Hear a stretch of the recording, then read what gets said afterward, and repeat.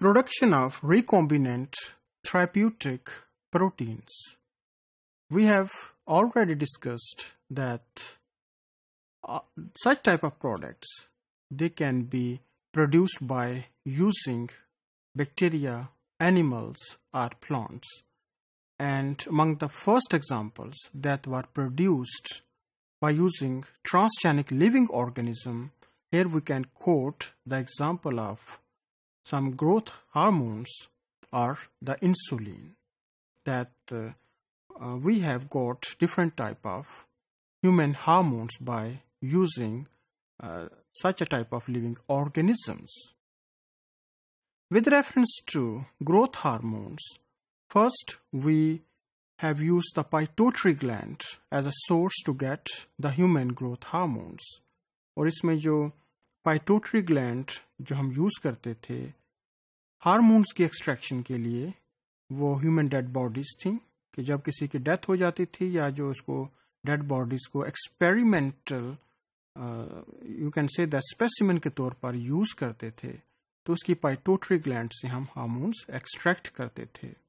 लेकिन इसमें बहुत सारे जो थे वो कंसर्न्स थे कि it can leads to different type of diseases in the recipient humans कि सम टाइम क्या होता था कि बॉडीज जो थी, वो इन्फेक्टेड होती थी इस डिफरेंट तरह की डिजीजेस जो थी, वो डेवलप कर जाती थी। ये लाइक जो प्रायोन्स थे, वो इन्फेक्शन कॉज करते थे और नर्वस सिस्टम को डैमेज कर सकते थे।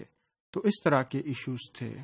इसके अलावा बहुत सारे जो ब्लड फैक्टर्स थे उनकी भी रिक्वायरमेंट थी। तो इस तरह के सोर्स को यूज़ नहीं किया जा सकता था for long time because of such concerns then recombinant a technology was use to produce such blood factors because sometime the blood transfusion it may have its own risk that risk like the infection with different type of diseases like the hepatitis or hiv so such risks they can be eliminated if recombinant dna technology may be used for the production of such uh, growth hormones that can be used for human.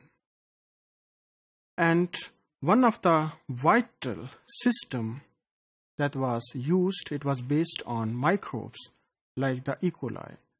तो start में इसके अपने concerns थे या problems थी कि foreign gene जो थे वो एक्सप्रेस करते थे लेकिन आ, उनकी कोई एक्सक्रीशन का सिस्टम नहीं था कि अगर साइटोप्लाज्म में जो प्रोटीन है ये सिंथेसाइज हुआ है एक्सप्रेस हुआ है तो उसकी ट्रांसपोर्टेशन जो था उसको मैनेज करना इतना इजी नहीं था।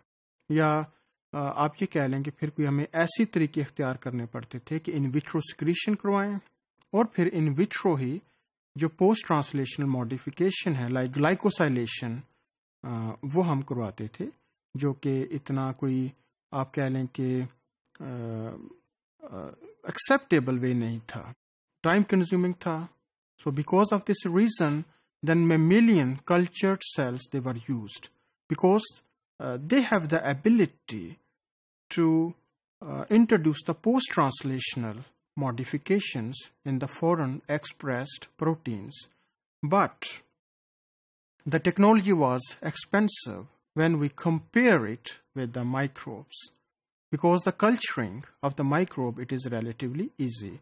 So because of this reason then microbes like bacteria they were improved so that they may be able to secrete the proteins in the periplasmic space the space that is present between the cytoplasmic membrane and the outer membrane where it can be uh, modified so that you know the functional product one can get.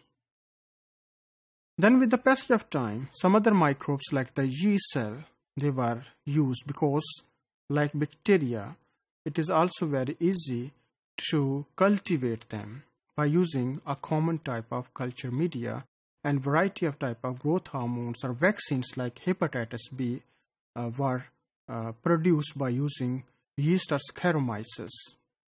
Then with the passage of time, some other filamentous fungi, they were also used to produce different type of proteins.